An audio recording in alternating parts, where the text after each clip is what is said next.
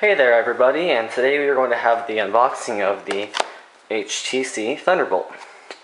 Um, this is going to be a re-unboxing, I've already done it before, you can see by the charger is out.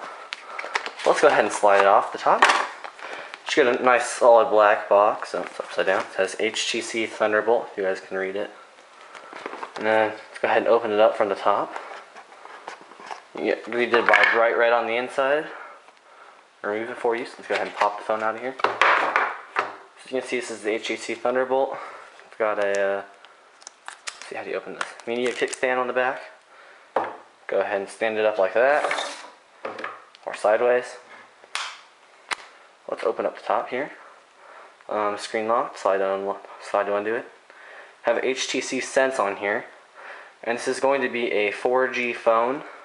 It's the first um, LTE device for Verizon Wireless.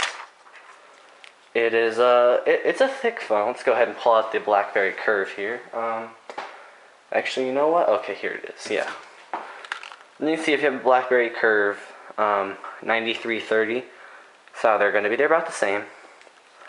HTC Thunderbolt has a 4.3 inch um, VGA screen, which is, I believe it's 854 by 480 or somewhere around there. And it has a front facing camera, which is 1.3 megapixels. A back-facing camera, which is HD, shoots 720p and is 8 megapixels with a dual LED flash. You can see 4G LTE.